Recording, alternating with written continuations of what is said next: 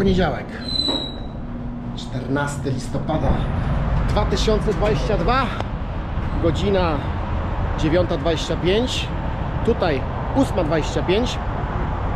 Czas na aktualizację 9.25 w Montrealu, gdzie się znajduje 8.25. Znaczy to, że znajduje się w strefie, gdzie jest miejscowość Chicago. Jestem na przedmieściach Chicago, kręcę 30-minutową pauzę.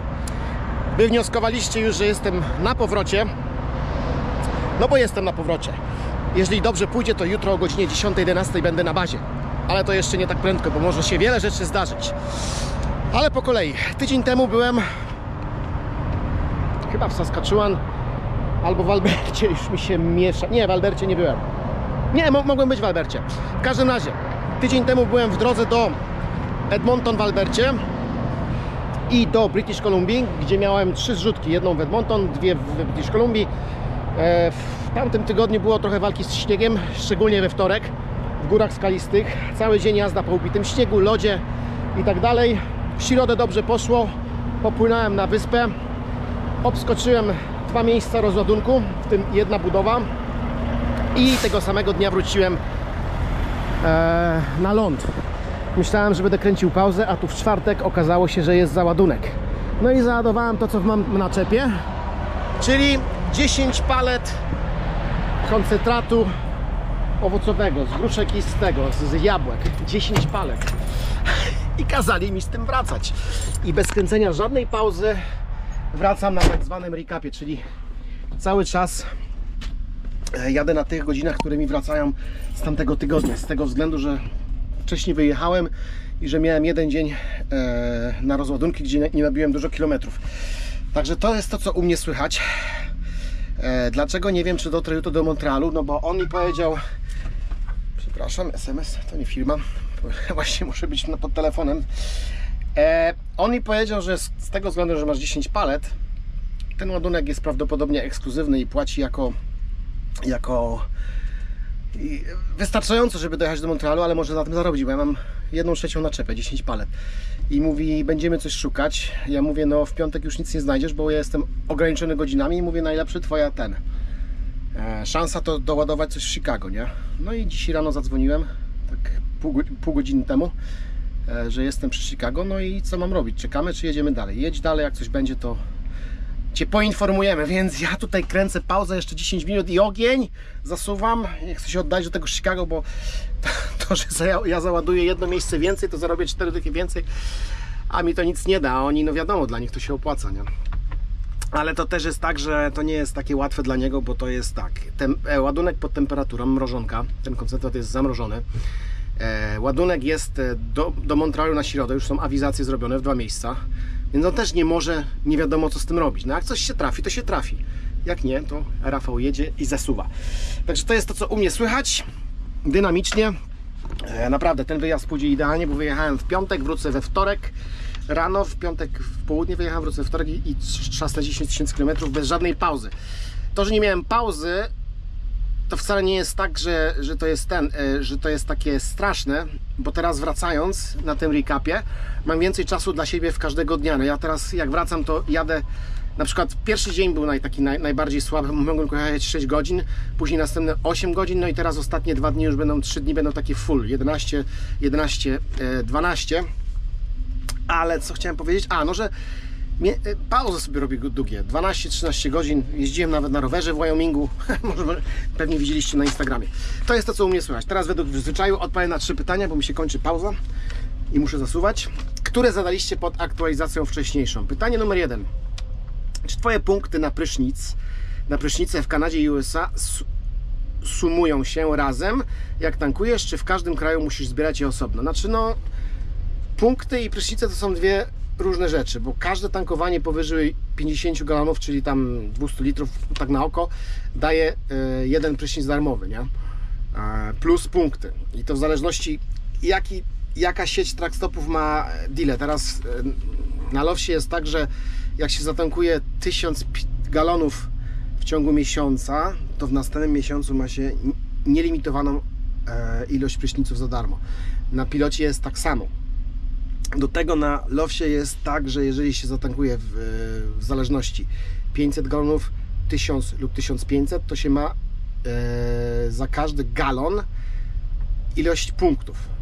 Do 500 galonów jest jeden punkt, od 500 do 1000 są dwa punkty, od 1000 do 1500 trzy punkty, a powyżej 1000 1500 punktów dostaje się 4 punkty. Tak, tak przykładowo teraz zatankuję 100 galonów, ja mam 3 punkty za każdy galon, no to za 100 galonów dostaję 3 dolary ekstra do wydania e, w sklepie, nie? Coś takiego. E, Pilot to rozwiązał inaczej, bo bardzo długo na pilocie było tak, że co by nie było, to było jeden, cent, jeden punkt za galon.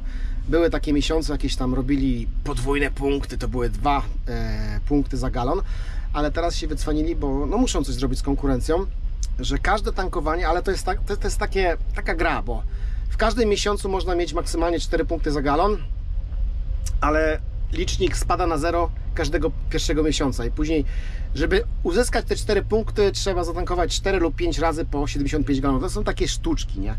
Ale wracając do oryginalnego pytania. Prysznice, znaczy jest tylko jedna sieć trackstopów, która jest obecna po dwóch stronach e, granicy, w Kanadzie i w Stanach. To jest Flying J Pilot, nie? Także prysznice, czy obojętnie, czy tankuje w Kanadzie, czy w Stanach, one są ważne na całym kontynencie. Ważne są 10 dni. E, natomiast punkty, ten właśnie deal z punktami, że się więcej punktów zdobywa, działa tylko w Stanach, jak się tankuje. Ja kiedyś tak miałem, że na tym pilocie miałem chyba 3 punkty za galon. E, tankując w Kanadzie dawało mi tylko jeden punkt. Także to jest tak, że są połączone, te punkty się kumulują, ale zasady dodawania punkty na kartę są troszeczkę inne. I co jest najciekawsze, że na przykład, no można też już tak, tak do końca liczyć, nie?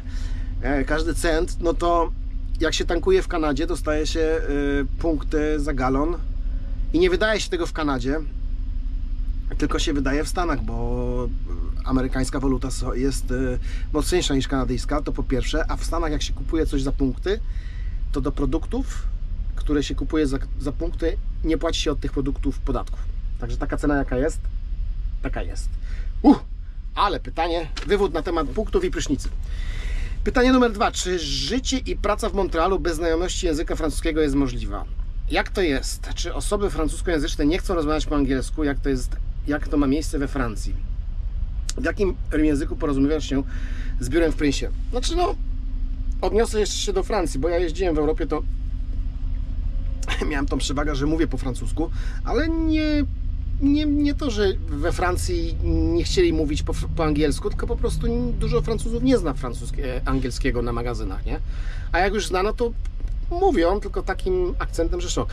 W Montrealu e, można żyć po angielsku i nie trzeba znać francuskiego, chociaż jest to mile widziane, chociaż w Montrealu większość ludzi mówi po francusku i po angielsku. Jest jeszcze taka, była taka afera pewnego czasu, że e, bo Francuzi są uczuli na, na temat francuskiego. Mówią po angielsku, ale dbają o swój język, no i, i w sklepach jak się wchodzi turystów przywity, przywitało się bonjour, hi, nie? I to było bardzo wkurzające, że w Quebecu powinno się widać tylko po francusku bonjour, a później mówić po angielsku. Ale wracając do pytania. Montrealu no, wszyscy mówią po angielsku i po francusku. Można żyć w Montrealu znając tylko angielski. E, Bardziej jak wyjedzie się za miasto, e, to, to, to bardziej obecny jest francuski, ale wszyscy mówią po, po, po, po, po, po, po angielsku i jakoś się człowiek dogada. W Prince'ie no zależy z kim. Ja z jednym spedytorem mówię po angielsku, z drugim po francusku, z trzecim przechodzimy z francuskiego na angielski, nawet nie, nie, nie zauważając tego. Po prostu tak w Montrealu jest. No, ludzie mówią w dwóch językach, bardzo często w trzech, ojczystym i, i to jest takie miasto po prostu, taka specyfika i to jest fajne. E, Pytanie numer trzy. To już pytanie wraca kilka razy, ale jest jeden wątek w tym pytaniu fajny. E, Ile jest aut i naczep w Prince'ie? Firma cały czas się rozrasta. Czy już można powiedzieć, że jest to największa firma transportowa w Quebecu? W obecnej chwili mamy cały czas jakieś 350 ciągników, chyba 500 naczep. E, To już mówiłem w innych filmach. Cały czas dokupujemy naczepy. E, Teraz szef nawet dokupił kupił dwa tereny rolne i będzie coś tam uprawiał. Także dywersyfikuje swoją, swoją działalność. Ale wracając do tego ciekawego punktu w pytaniu, e, czy jest to największa firma transportowa w Quebecu? Oczywiście, że nie. Jesteśmy, jest taki, jest taki, jest taka, jak to się mówi? Teraz mi zabrakło słowa. Jesteśmy na dziesiątym miejscu, jeżeli chodzi o wie, wie, wielkość firmy transportowej. No to jest tak dobry sukces, bo jak ja zaczynałem, to było 40 traków. Numer jeden e, w Quebecu to jest e, Transforce, to jest mafia, tak mówią na to. To jest włoska działalność Saputo i chyba on tam, e, no on ma parę, parę tych przetwórni w Quebecu, mleko, sery i tak dalej i pewnego czasu zaczął wykupywać firmy transportowe i tam zawsze tak było, że jak wykupował firmy transportowe, rok później wszystkie ciągniki były nowe. Więc to jest zdecydowanie największa firma. To już jest taki gigant, że on się nawet szarpnął i wykupił w Stanach oddział UPS, UPS Ground. UPS-a wykupił. Jeden oddział UPS-a. To jest potęga. Więc to jest największa firma w Quebecu. My jesteśmy na dziesiątym miejscu i dorównujemy się już do firmy Transwest i firmy, chyba nawet przegoniliśmy Normandin i do, dochodzimy do Burasy, transportu Burasa. No trzeba znaleźć to, to, to, tą, tą listę firmy. Jest w internecie, no. ale nie, nie jesteśmy na pierwszym miejscu i daleko nam będzie do tego pierwszego miejsca, bo nie sądzę, żebyśmy zaczynali wykupywać innych prze, prze, przewoźników. Dobra, taki to był tutaj trzy pytań. Dwie minuty do końca pauzy. Zadawajcie kolejne pytania.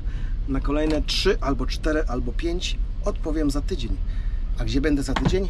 Obstawiam, że w trasie, bo da, podałem datę wyjazdu na piątek. A teraz w podskokach, żeby uniknąć ewentualnego załadunku gdzieś w Chicago. Taki to był typ aktualizacji. Rafał Zazuniuk, kierowca zawodowy.